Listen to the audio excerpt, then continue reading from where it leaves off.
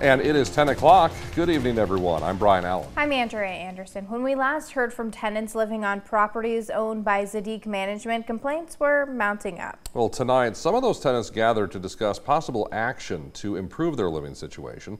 Parker Brown in studio with our 10 o'clock top story tonight. Hello, Parker.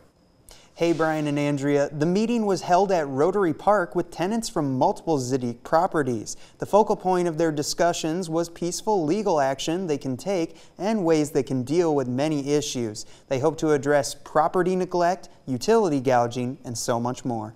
The Florida-based company Tzadik Management has not made any changes since Dakota News Now last checked in with residents. Some say that things have actually gotten worse. They're going to retaliate against anybody, everybody, you know.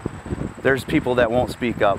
There's people that won't go on camera because they know as soon as they find out, you know, the property manager sees them on camera, they're going to go, oh, time to just start doing evictions. Mike DeWitt lives in Beresford, but his girlfriend lives in a Tzadik apartment complex. He says that when his girlfriend gets off of work late at night, he drives up to Sioux Falls to walk her back into the building.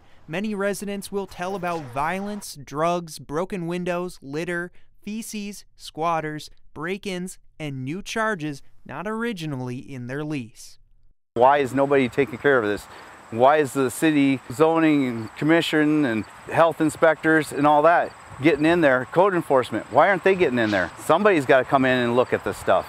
They're not looking at it. But when it's three months old, somebody's going to get in trouble. Tenants have already been retaliated against. Some have been evicted. Felicity Cronin isn't afraid of retaliation because she continues to document her experience. It's very frustrating because I'm only 20 years old. I don't have a college degree yet. So for them to charge me absurd amount of money when I don't have a lot of money coming in, it's very frustrating.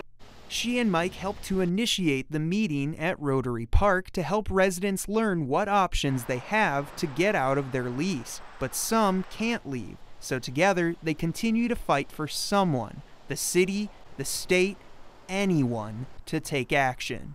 I ask questions to them and I get no response no emails, no texts, no calls, nothing.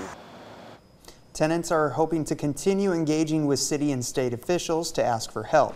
DeWitt says that he hopes tenants continue to issue complaints and follow up on those complaints. Brian and Andrea. Right, Parker, thank you.